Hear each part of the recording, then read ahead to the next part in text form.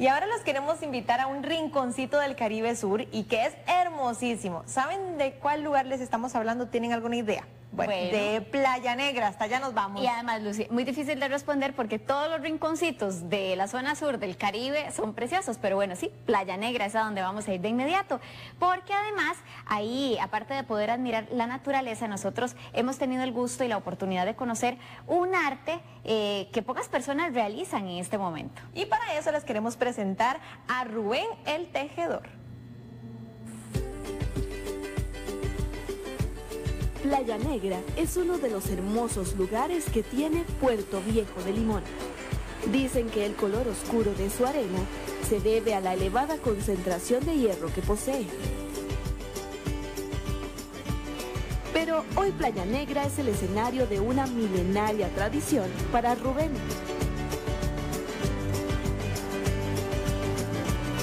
Quien la visita constantemente, internándose en su bosque para recolectar una palma muy especial.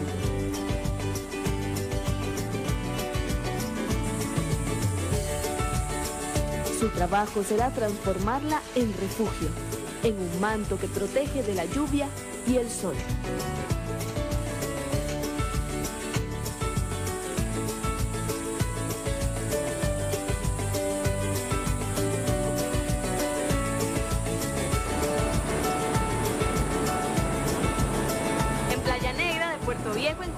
Un tejedor muy particular.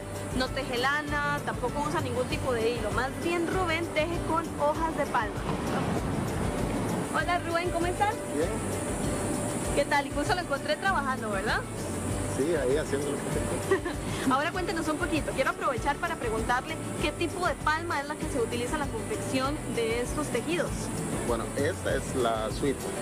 Hay otro tipo como la otra que corté en la mañana. Esta se llama yolillo. Yolillo. Yolillo, sí. La puedes poner verde, la puedes poner seca, como quieras. Y este, esta depende del grado que usted le dé de, caída, de, gravedad al, a la palma. sí, dura hasta 15 años. Pero usted nos va a llevar a su taller para explicarnos más del tejido de este tipo de hojas, ¿cierto? Por todo el Caribe encontramos el resultado del trabajo de Rubén. Con sus tejidos construye techos que no tienen nada que envidiar a las modernas construcciones. El tejido es tan perfecto que no hay gota de lluvia que se filtre entre las hojas.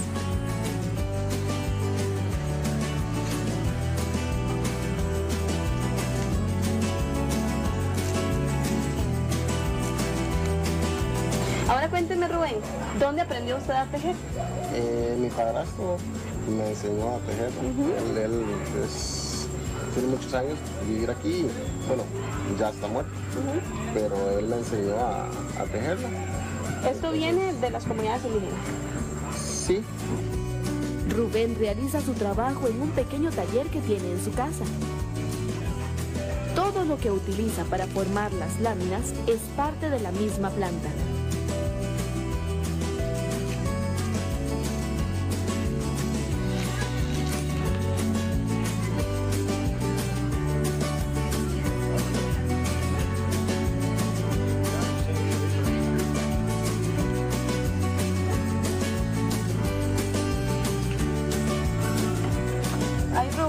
Yo les voy a decir a ustedes que es otra cosa digna de resaltar de este trabajo de Rubén. Además de que pues es rescatar una tradición milenaria.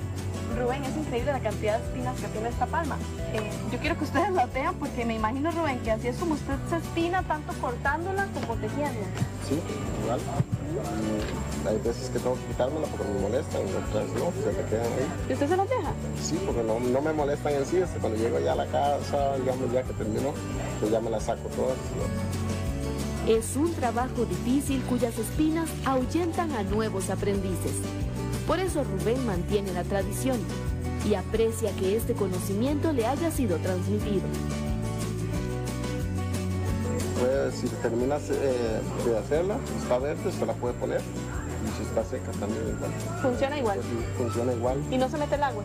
No, es la manera nada más de cómo ponerla. Hay que ponerla de abajo para arriba y una, una va cubriendo la otra. Una va cubriendo la otra.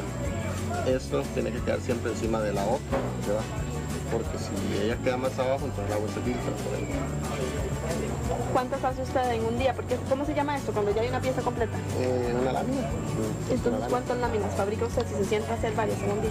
Mm, dos docenas y media. Serían como 24, como 30 más o menos. Un tejedor de tradiciones. Ese es Rubén, quien no se fija en las espinas de su trabajo, más bien se ilusiona con el resultado.